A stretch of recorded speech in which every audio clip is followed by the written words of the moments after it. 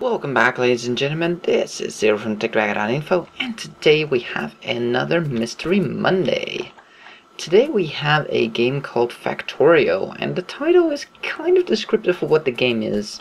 The game is basically run one huge ass freaking factory. it's sort of what it comes down to. Let's scroll out all the way so you can see what I have here, you can't even see it all. So what is this game about? Well, you are this person right here in the middle of my screen. And kind of hard to see him.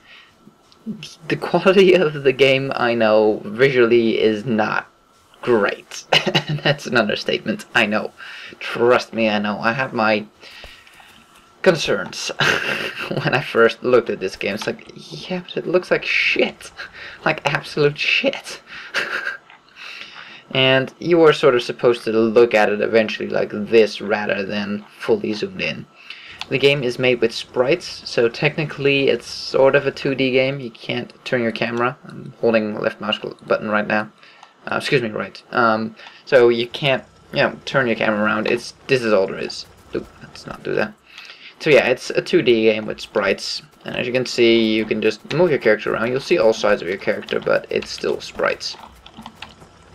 So, um, what is the goal of this game? Well, let's head over here. Actually, no, no, no, let's head over here. Let's get through here if we can.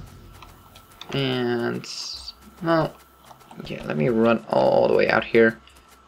And things will get a little bit clearer as I go. So, if you look in the minimap, you see all these red dots everywhere. Those are aliens. The premise of this story is you crash landed or you landed on this planet and you have to prepare this planet for colonization.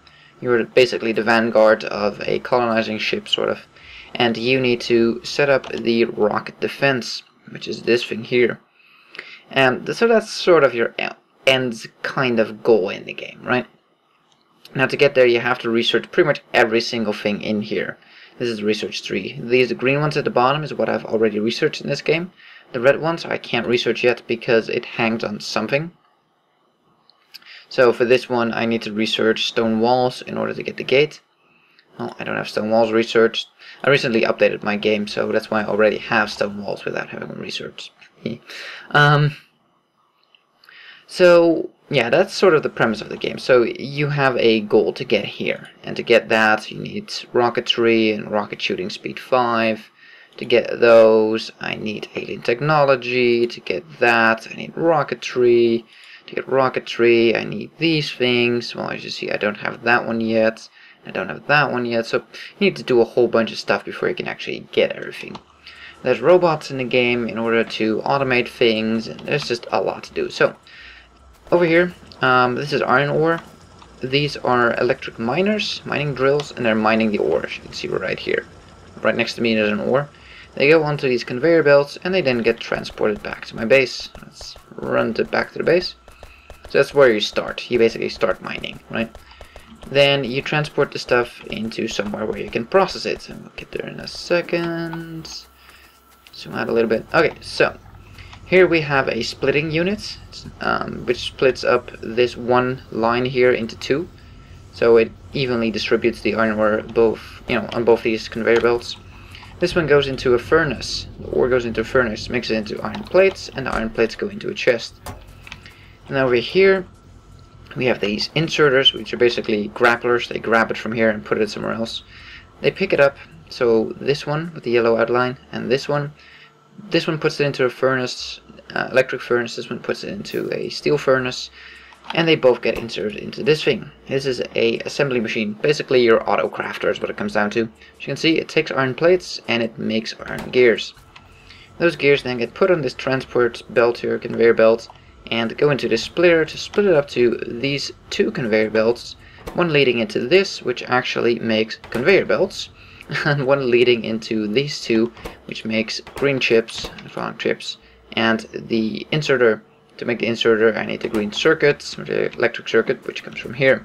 So as you can see, it's just a long chain of processing the materials and then refining them and reprocessing them into what you need. Down here, you can see I'm actually at work right now. They pick up an iron ore, put it in the furnace, gets smelted into a iron plate, then gets picked out by this thing, put into this furnace, and gets smelted up into steel. You can see here we're generating a load of steel. That's kind of how it works. Now, to research these things, you can, you can see the progress I've made so far in the advanced oil processing. I'm at like eh, 70% or so. What you need is this. So you need one of the red potions, a green one, and a blue one. Science packs is what they're actually called. So this whole thing here is pretty much to make these green ones. As you can see, the conveyor belts and that inserter both lead into this green one, which makes these green potions. Now if we go up here, you have copper plates, which basically work the same way as those metal plates we just saw. So you have an electronic or electric miner right here, puts it into a furnace, gets smelted into plates, plates get transported, and zip, go over here. They get turned into copper wire here, and the rest of them go into here. So we need a copper plate, which is these things, plus a iron gear, which comes from here, and you make those red pots. Then over here we have those inserters again, and they put them into these things, which are your research labs. Let me grab some potions from here. So, as you saw for this, we need one red, one green, one blue. Well, we're missing a blue, so let's put one in. As you can see, it will start sparkling over here, and it will actually start working. Nice thing is, you can actually keep these things on your cursor, so even if you close your inventory, you can still have it on you. Makes it a lot easier to go through things if you have to click on multiple things. As you can see, we put one extra in all of them. There we go. As you can see here, it shows you what's in there. You can turn that off with Alt if you want to. Um, but I prefer to see what's in there. Like now I can see that there's things missing in here, in here, and now in there as well. The blue one is missing. And your progress will jump up. So basically that is the essence of this game. And I know this is kind of short, but there's not really a whole lot to show because I haven't gotten very far into the game yet. It costs a lot of time. But it's one of those games that you can just keep on tweaking and keep on adding to and, you know, optimizing things and making it look a little bit prettier. Like this is already, trust me, this is looking pretty neat compared to some of the other builds I've had. This is already looking pretty neat. and look like, I know it looks like absolute chaos right now. This is actually already quite a bit neater than I had before. Like, I'm using the same conveyor belt for two different types here, so I had to go underneath and then loop around to actually put it into this side of the conveyor belt, which is, you know, double function. I could have just made another conveyor belt and put them into these, but, yeah, reusing the same conveyor belt for multiple items, as I've done here, yeah, it takes a bit of tweaking to actually get it to work, like to combine these two different materials into one conveyor belt and then split it up into two conveyor belts with the same load. Yeah, not that easy. So yeah, if you love to automate things and to set up like long chains of events, and that's kind of what you're doing. Like over there, what I showed you earlier, we're mining the iron ore. Then we're processing it over here into multiple different ways. Over here we make it into plates and make it into steel. Over here we just make it into plates so we have something to you know manually craft with. And over here we have our completely automated system to put all the green and red potions in these research labs. And yeah, that's sort of this game in a nutshell. Um, there is a lot more to it. Like we have trains that you could use. Grab that real quick. I'll show you. Let's place down the train. And we will put some coal in it so it can actually run. And let's see what this is station called. Mark Craig. We'll say that one plus go. You'll see the train will jet off towards that station. This is counted as a station, this pole thingy. So that is in very short essence this game.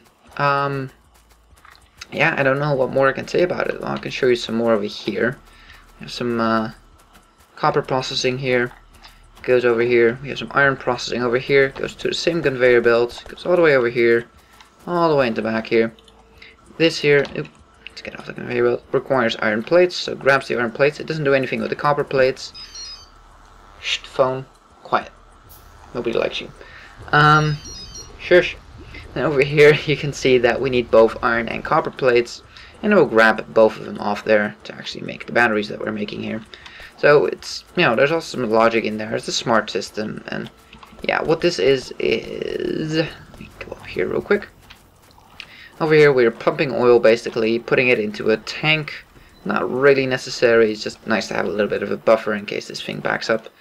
Over here we're creating, um, what's this, Uh, um, it doesn't actually say what they're called, I see over here I think. Um, heavy oil, light oil, and what was that thing called? Um, dang it. No. Anyways, doesn't matter. Uh, we're generating three things, as you can see here. Again, you can turn off these things. If you hover over, you can see what output is what. But I like to see what item is where. Um, and yeah, uh, oil processing, we're making plastic here in this one. Go there real quick. Over here, we're making plastic. I actually need to put in coal. You can see we're making plastic. Ta-da! And over here we're making sulfur. The sulfur then goes into here to make it into sulfuric acid. That goes into a tank and that gets turned into batteries. Which I actually need back in my other base or other part of the base and yeah. Now there's one tiny little thing that I haven't told you about and that's base defense. These gun turrets over here. They are not just for show, there's a good reason why I have turrets and I'm gonna show you right now. Let's head over there. I can actually get there. It'll take me a second. Yes, I'm heading off to these red dots over here, and you'll soon see why. There it is. Oh shit. Ah. Okay, okay, okay. Ow, ow, ow, ow, ow. No, so far my armor is holding up. I'm doing okay. Come on, kill them. So there's all kinds of ways you can kill these guys. For now, I don't have hand grenades, but there's hand grenades, landmines, laser weapons later on. Nope, more of them. Ah, and as you can see there, see that? That's a bigger bug. And stronger. You can see. He's taking a hell of a lot less damage than the rest. I actually can't seem to kill him. He's actually killing me. Yeah, I can't kill him. And I'm dead. so, yeah, I, am not continuing in this world anyway, so it doesn't matter. But once you die, you're done. Um, there's no extra life. You know, dead is dead. But you can just um, load your game up, so do save your game from time to time. Dead Grey Trunk 1. Dark Green Thin Tree 1. I have no idea what this means. That's what I killed? Okay. um, apparently I drove over him with my car, I guess. The cars are dangerous in here, by the way. I crashed them earlier. So yeah, that is Factorio for you. It's a game all about automating and defending your base against these aliens who actually do become stronger. The more you kill, the stronger they become, the remaining ones. And they'll actually like evolve and um, as you saw, this one was completely immune to my gun. I couldn't do anything against him. And he murdered me. So yeah, this game gets very challenging very quickly. And yeah, I love automating things. I mean, I do it in Minecraft, and why not here? You can buy this game on their website. Um, there is a demo, a demo, demo you can try out. I do suggest trying that out. I mean, try before you buy, right?